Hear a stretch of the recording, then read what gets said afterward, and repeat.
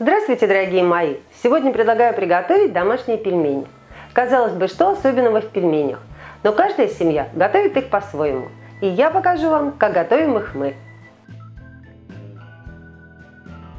Для приготовления теста мне понадобится 3 стакана 250 мл пшеничной муки, примерно 480 граммов, 200 мл холодной воды, 1 столовая ложка растительного масла, 1 яйцо, половина чайной ложки соли. Для фарша я использую три сорта мяса – говядину, индюка и курицу в равных пропорциях. Здесь у меня примерно по 350 граммов каждого вида. Такое сочетание мне нравится больше всего, но вы можете использовать и другое мясо по вашему желанию или уже готовый мясной фарш. Также мне нужны будут 2 луковицы и 15 граммов соли. Если фарш будет очень густой, нужно будет добавить немного холодной воды.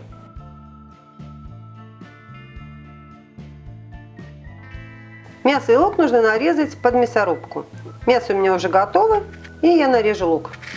И теперь все вместе. В перемешку мясо и лук я пропускаю через мясорубку. Решетка средняя.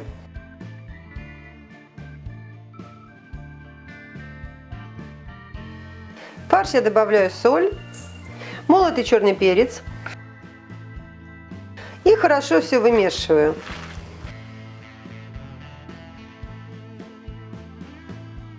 Вымешивании можете заодно отбивать фарш.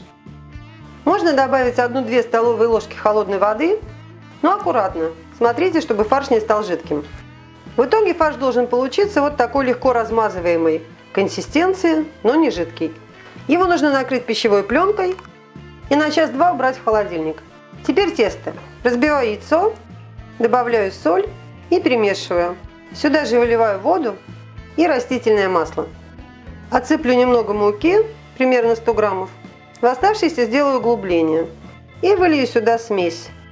И теперь аккуратненько буду перемешивать. Отложенную муку высыпаю на стол, немного распределю и выкладываю на нее тесто. И теперь тесто нужно вымесить, вмешивая оставшуюся муку. Вымешиваем до гладкого однородного состояния. Возможно, вам не понадобится вся отложенная мука, и вы почувствуете, что тесто уже достаточно крутое, тогда просто оставьте ее для раскатки. Ну, для моего теста достаточно муки. У меня осталась примерно столовая ложка. Просто ее отодвину и потом использую, когда буду раскатывать тесто. То есть на само тесто у меня ушло 450 граммов. И теперь осталось вымесить само тесто. Конечно, когда муки в тесте много, вымешивать его сложнее. Но зато при варке пельмени оно не будет рваться. Чтобы тесто лучше вымесилось, можете несколько раз бросить его об стол. Или разрезать и вывернуть. Вот посмотрите, какое получается тесто. Гладкое, однородное, но в то же время довольно упругое и крутое. Можно его положить в миску, накрыть пищевой пленкой, а можно просто убрать в полиэтиленовый пакет и оставить на 30-40 минут. Время прошло, и дальше ничего необычного. Подпыляю стол мукой и выкладываю тесто. В зависимости от величины вашего стола можете разделить тесто на две части, а можете раскатывать сразу все.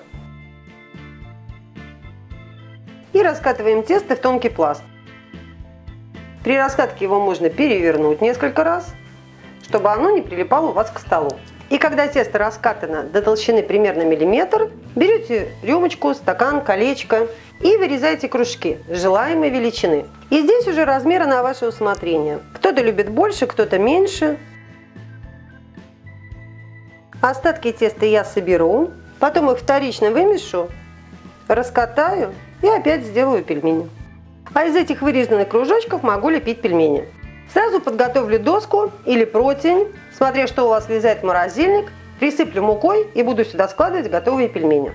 Из холодильника достаю фарш и выкладываю на серединку теста. Можете разложить весь фарш сразу по кружочкам, можете делать по одному, как удобнее. Форму также на ваше усмотрение, какая вам больше нравится. Я леплю вот таким образом, мне кажется, что так проще. И складываю на подготовленную доску. Продемонстрирую еще раз. Выкладываю фарш на середину и прихватываю тесто. Я понимаю, что форма не совсем пельменная, но мне кажется так быстрее. Лучше всего, конечно, к этому делу привлекать всю семью. Но тогда все пельмени будут разные. Зато весело. И таким же образом делаю все остальные. Когда одна доска заполнена, я присыпаю еще сверху пельмени мукой и убираю в морозильник. И когда они хорошо прихватятся, их можно будет сложить в пакет. Соус для пельменей я делаю такой. Беру помидоры, если есть огурец, его тоже хорошо добавить. Добавляю соль и измельчаю блендером. Теперь добавляю сметану, пропорции произвольные. И перемешиваю. Сюда же добавляю свежую зелень. Укроп, петрушку, кинзу, базилик. Любители чеснока могут выдавить чеснок. И соус для пельменей готов.